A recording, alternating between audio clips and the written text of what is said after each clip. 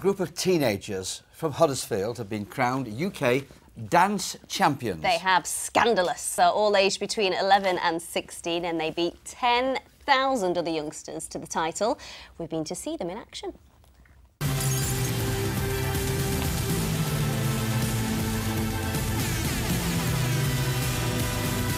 These are the moves that led Scandalous to victory in the Teen Star UK contest. The 20 strong troupe scooped the title in a competition that had 10,000 entrants, with this routine inspired by the Suicide Squad movie. It meant the world to every single one of us. It was I was so happy. Like when they said that we won, like everyone started crying. It was so fun.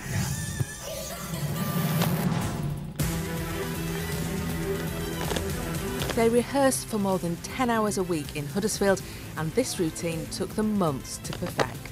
It's just a passion. Like every day, like every time we dance, we just get better and better, and that shows off when we're doing competitions. Well, after 10 hours of training a week, I get used to it. yeah, we do it like a lot, a lot of training, but it's worth it when we win something as big as Teen Star. With this title under their belts, or should that be jumpsuits, could these youngsters make the leap to stardom? Watch this space. Abby Jayola, BBC Look North, Huddersfield. Wow. Yeah, what a performance. With us now, the choreographers, Alicia and Michaela. And we've also got two of the dancers, Mia and Harrison. Mia, I, I want to ask first of all, how long does it take to work out such an intricate routine?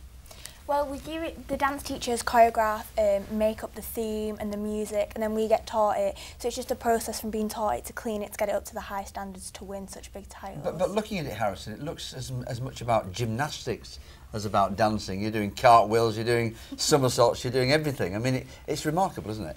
Yeah, it is, re- it is remarkable because we're all putting in so much hard work to get in the tricks as well as the street dance, which means that we're going to be like on top of the world.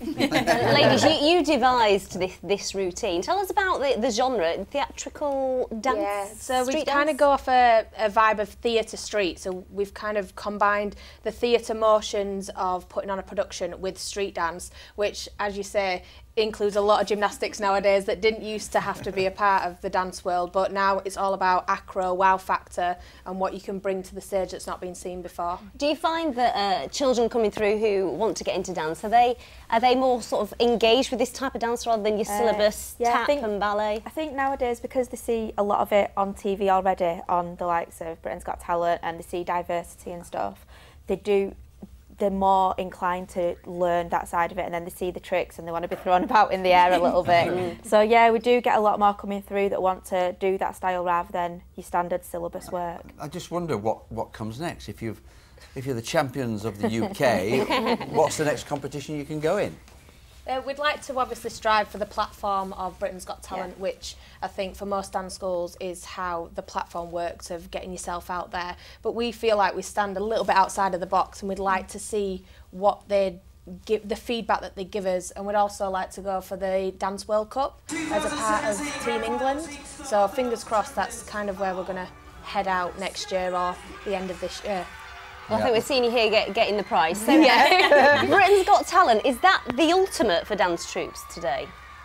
I guess so, yeah, because uh, as you see, like diversity and flawless and all them people, they've gone for like Britain's Got Talent and all them big comps, but Britain's Got Talent is on television and it's, s- like present it to everyone so everyone can see it and people can pick and you it's up. the ultimate it's the yeah. ultimate yeah. challenge in yeah. many it's getting your name well, out there as well I think it's the easiest way to get your name out now with the TV it's so and obviously the social media following and stuff so since we won Teen Star we the social media side of it's just gone massive, and I think that's what Britain's Got Talent gives you. It gives you Mm. the step of that. Mia, can you just sum up how it feels when you're doing this form of dance?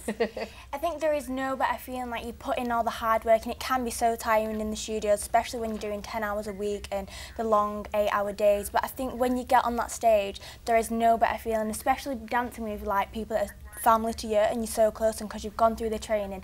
Then to reap the rewards of all the hard work, there is honestly being on that stage and when they announce names, there's no better feeling. Well, well, we wish you all the very best and may Thank your you. Well success done. Thank you very much. Fantastic. thank you. well Let us Can know how you get on. Hello to everyone back at the studio. All the kids are watching, mm. so we just want to give them a quick oh, hi. Hello!